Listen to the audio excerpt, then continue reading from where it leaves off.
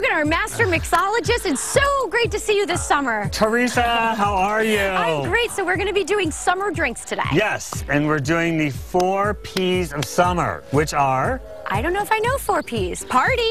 parties one, Okay. picnics, Yes. pools, and pitcher drinks. That must be why you're here today. That's why I'm here today, because I'm going to teach you how to make pitcher drinks Okay. on a budget. First, we're going to start off with everyone's favorite summer drink, lemonade. But this is not your mom's lemonade. Fill the pitcher with ice, lemons, and limes, then the secret ingredients, starting with David's favorite, pink vodka. So we're going to put about six ounces.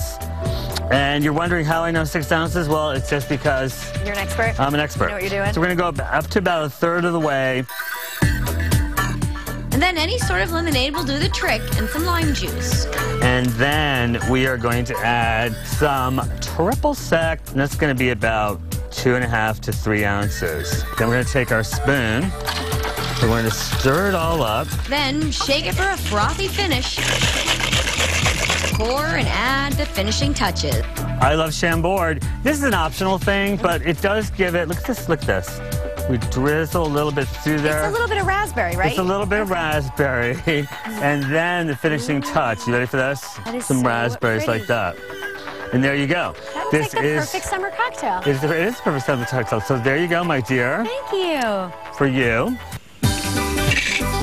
If you can't make it to the tropics this summer, you can at least feel like you're there with David's bright blue Aquatini Punch, which, by the way, is much more cost efficient than making individual martinis. So, David, I see we've done a little setup here. I see pineapples. It looks really pretty. Yeah, it does. Well, this is the beginning of our Aquatini Punch, and um, I, you know, I'm all about visuals. For this, you'll need two pitchers and some rum, about six ounces. Then we're going to use some Island Blue Ooh, Pucker. that looks really fun. This is fun and festive. Love the color. It's very electric blue. This is a very like tropical tasting liqueur. It's really, really nice. And look at that color. Look how it matches that tablecloth. So about Cool. six. It's like pool water. It's like pool water. Exactly. Three ounces of triple sec, some pineapple, Just a splash there. And lime juice, topped off with sour mix, and then white cranberry. One of the secret ingredients David was nice enough to share. I want to smell You it. want some of that? It totally smells like Okay, ranch. but you know what? Oh my gosh. And you know what? No Mrs. Butterworth this time. okay. okay, so we're just gonna pour this right in here. Look at how the pineapple stays. That is And so pretty.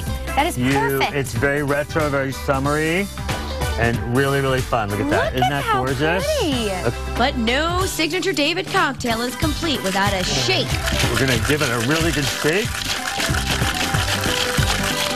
and a fancy garnish. And then we're gonna pour with ice and all right into this drink. Ooh. Look at that. Then for fun, we're gonna add blue curacao. Blue curacao is like triple sec, but it's blue. It's a it's a blue orangey. Look at that. How pretty. It And almost looks too good to drink. We're again with the upward. There you go. Voila! That is the great. Aquatini Punch. For Better Connecticut, I'm Teresa LaBarbera.